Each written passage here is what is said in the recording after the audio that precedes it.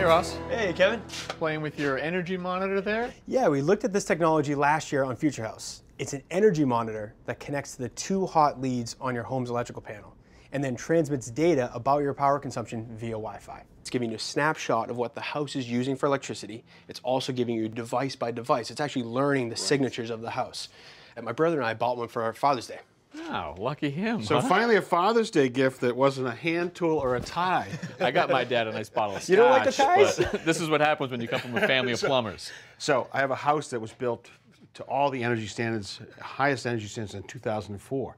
We put this thing in, I turn on the switch on the can, recessed cans over the kitchen island, and we watch this thing spike by like 900 watts. Wow. So these were recessed halogen lights. They were, I thought they were efficient. They aren't. So now what that does is it all of a sudden made me start thinking about, boy, I'm going to leave those lights off and uh, maybe screw in some LEDs because now those are efficient. You can right, use those. And one of the other things was with the coffee maker you know, you think, you know, it's a pod style, you think it's actually going to be, you know, only on when you're using it, but in this case, it's actually cycling. We could see it on and off. Right. We could see a, a spike on, spike off. You put the pod in, you press brew, and it comes on. Right, but it's got a little heating element that keeps that little reservoir, there's an electrical element that oh, keeps really? it on and off all day long. So when I leave, I make sure I turn that blue button off so I'm not doing it. This is this is a typical spike right here, just for the coffee maker. So I mean this is the idea, right? Without the information, you can't fix the problem or change the behavior. Right. So now this is starting to change your behavior. That's right, absolutely. I remember though the thing that got you excited was the ability to sort of foreshadow problems, right? You guys were seeing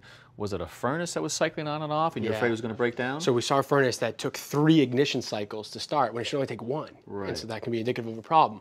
What you know what was cool about this is the refrigerator right? We saw the refrigerator was on all the time. It was drawing 1,300 watts when it was cycling. No, to the fridge. no, it, the compressor just would not shut off. Well, we found out that the filter on the front that pulls all the air in was completely clogged. If no air goes in, it's not going to take the heat away from the refrigerator, yep. and the compressor will just stay on, on, on, and won't cool the box. So now you've got the information That's to solve right. the problem. Uh, do you foresee a day when nerds like you don't have to buy it and nerds. install it? No, I mean, I mean, it's, I say it in a loving way, but where it actually just is built into the technology? Yeah, I, I, see a day in the future where that type of device will be installed standard in any electrical panel. And what's great about that is that it's going to send you a text message or an mm. email saying your refrigerator is using 35% more electricity right. this month right. than it did last month, right. right? Something might be up. If and when that happens, it's standard then and only then will we actually change behaviors and reduce electricity consumption. Which would be a good day. Absolutely. Although you'd be left with one problem, and that's what do you do for Father's Day?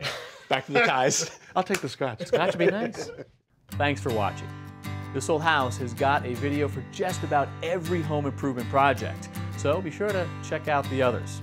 And if you like what you see, click on the subscribe button. to Make sure that you get our newest videos right in your feed.